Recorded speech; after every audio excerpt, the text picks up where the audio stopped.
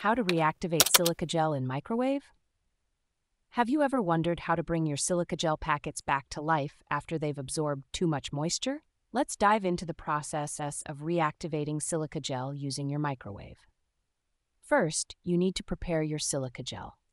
Remove any visible contaminants or debris from the beads. If they've been exposed to harmful substances, you might need a more thorough cleaning, but for most cases, a gentle brush or air blow will do. Now, spread the silica gel beads evenly in a microwave-safe container. This is crucial because you want to ensure the heat distributes uniformly.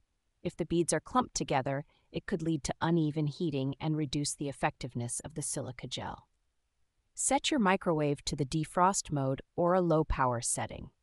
The exact time can vary depending on your microwave's power and the saturation level of the beads. A good starting point is to heat the silica gel for 7 to 12 minutes, but you should check on it every few minutes to avoid overheating. Here's a tip. If your microwave doesn't let you choose the time for defrost mode, you can enter different weights to find the closest time to 7 minutes. For example, you might enter several weights until you get a time close to what you need. During the heating process, inspect the beads frequently.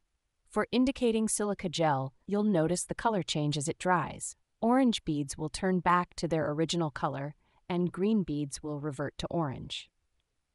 If you're using white beads, they won't change color, but you'll know they're ready when they feel dry and light. After heating, let the silica gel cool down completely before storing it. This prevents it from reabsorbing moisture from the air. Once cooled, you can transfer the beads to a sealed container to keep them dry and ready for future use.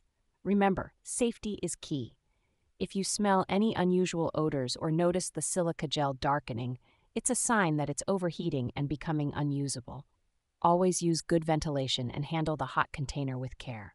By following these steps, you can easily reactivate your silica gel packets in the microwave, extending their lifespan and keeping them effective for controlling moisture.